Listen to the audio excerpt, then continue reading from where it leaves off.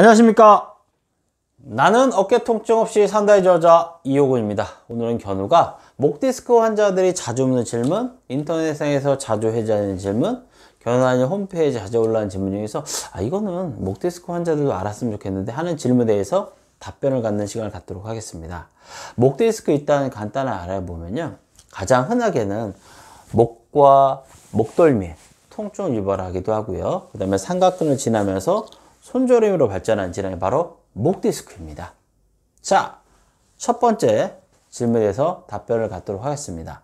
목 디스크는 왜 생기는 건가요? 목 디스크는 교통사고 같은 강력한 외력이나 외상에서 발생하기도 하지만 대부분은 잘못된 자세에 만성적으로 노출되면서 습관적으로 노출되면서 악화되는 것으로 알려져 있습니다. 거기에 뭐 흡연, 술, 뭐 과로, 스트레스, 불규칙한 생활 습관, 수면 장애 등이 더해지면서 증상이 발전한 것으로 알려져 있습니다.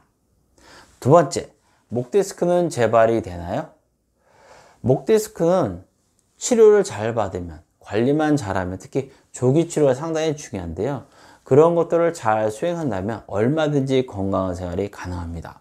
세 번째, 한두 잔의 술은 괜찮은지. 일단 통증이 있다는 건 염증을 베이스로 하게 됩니다. 특히 목 디스크의 경우에 신경염이 악화될 때 심해지기 때문에 이럴 때 술이 들어가면 증상이 더 나빠지겠죠. 가급적 한두 잔의 술도 삼가하시는 것이 좋습니다. 네 번째, 상체 운동을 해도 되는지, 뭐 골프, 헬스, 볼링, 뭐 이런 것들. 특히 골프의 경우에는 목 디스크를 더 악화시킬 수도 있습니다. 그리고 통증이 있을 땐그 부위를 가급적 자극하지 않는 것이 좋습니다. 왜? 2차적 문제를 유발하기 때문에. 그러나 골프 같은 운동을 할 수밖에 없는 상황이라면 한의사 충분히 상의한 다음 진행하는 것이 안전합니다. 다섯 번째. 목 디스크는 치료가 잘 되는지. 목 디스크는요. 한방 치료에 대한 만족도가 높은 질환 중 하나로요. 치료를 잘 받는다면 티칭과 주의사항만 잘 준수한다면 만족할 만한 결과를 얻을 수 있습니다. 목 통증, 어깨 통증, 팔 통증은 무엇보다 예방이 중요합니다.